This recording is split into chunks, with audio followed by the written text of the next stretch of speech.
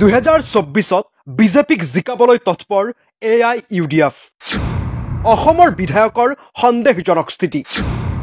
বিজেপিৰ হৈ কাম কৰে নেকি এ আই ইউ ডি এফে?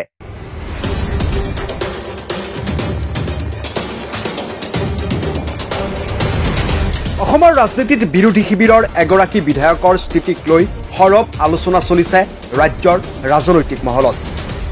অসম বিধানসভালৈ প্ৰথমবাৰৰ বাবে নিৰ্বাচিত হৈ এই বিধায়কগৰাকী সম্প্ৰতি চৰ্চাৰো কেন্দ্ৰবিন্দু। কিন্তু এই চৰ্চাৰ কাৰণ কি? বিজেপিৰ অনুগ্ৰহ লাভ কৰিছে নেকি বিৰোধী বিধায়কে? বিৰোধী শিবিৰত বিভাজন সৃষ্টি কৰিবলৈ তৎপৰ হৈছে কোন?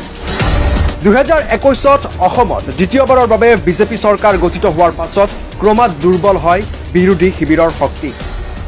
বিশেষকৈ অসম বিধানসভাৰ দুটাকৈ সাধাৰণ নিৰ্বাচনত কংগ্ৰেছ দল একেৰাহে পৰাজিত হোৱাৰ পাছত সাংগঠনিক আৰু ৰাজনৈতিক দিশতো বিপৰ্যয়ৰ সন্মুখীন হয় দেশৰ অন্যতম বৃহৎ আৰু প্ৰাচীন ৰাজনৈতিক দলটো।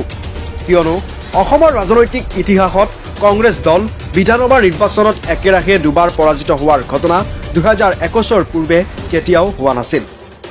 স্বাভাৱিকতেই এই পৰাজয়ৰ পাছত হতাশগ্ৰস্ত হয় কংগ্ৰেছৰ বহু নেতাকৰ্মী। কংগ্ৰেছৰ এই দুৰ্বল ৰাজনৈতিক পৰিৱেশৰ সুযোগ লৈ দলটোক নিঃশেষ কৰিবলৈ বিজেপিয়ে বিভিন্ন কৌশল অৱলম্বন কৰিছে। অসম প্ৰদেশ কংগ্ৰেছৰ বহুকেইগৰাকী শীৰ্ষ নেতাই এই কথা ৰাজহুৱাভাৱে প্ৰকাশো কৰিছে বহুতবাৰ। কিন্তু শেহতীয়াকৈ দুহেজাৰ চৌব্বিছত অনুষ্ঠিত হ'বলগীয়া লোকসভা নিৰ্বাচনৰ পূৰ্বে কংগ্ৰেছক অধিক দুৰ্বল কৰি বিৰোধী শিবিৰত ৰাজনৈতিক বিভাজন সৃষ্টি কৰিবলৈ তৎপৰ হৈ উঠিছে এ আই ইউ ডি এফৰ সাধাৰণ সম্পাদক তথা সোণাই বিধানসভা সমষ্টিৰ বিধায়ক কৰিমুদ্দিন বৰভূঞা। বিধায়কগৰাকীয়ে বিগত কিছুদিন ধৰি বিৰোধী শিবিৰৰ অন্যতম প্ৰধান শক্তি কংগ্ৰেছৰ বিৰুদ্ধে সংবাদ মাধ্যমত ধাৰাবাহিকভাৱে বিবৃতি প্ৰকাশ কৰি আহিছে। আৰু তেওঁৰ বিবৃতি অসমৰ সংবাদ মাধ্যমত সবিস্তাৰে আৰু গুৰুত্ব সহকাৰে প্ৰকাশিত হৈছে।